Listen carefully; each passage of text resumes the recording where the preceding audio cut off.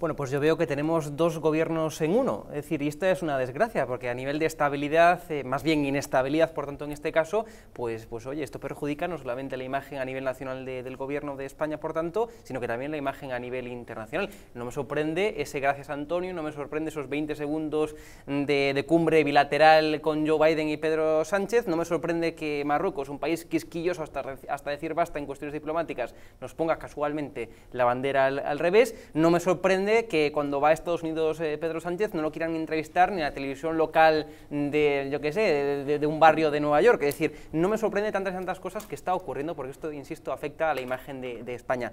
Desde luego, un gobierno, eh, un gobierno en coalición que no está de acuerdo ni en política económica, porque hay muchas discrepancias incluso en política económica, que no está de acuerdo en política social, pero que, que mucho menos está de acuerdo en política de exterior, pues oye, lo tienen que hacer ver es un problema muy importante y desde luego España se ha convertido en el único país del mundo occidental que está en contra de la OTAN, que está en contra de Estados Unidos, que está por tanto en contra de nuestros socios naturales.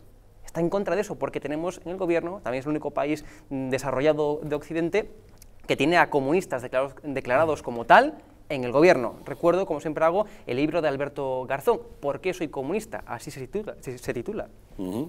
David. Es un tema muy complejo.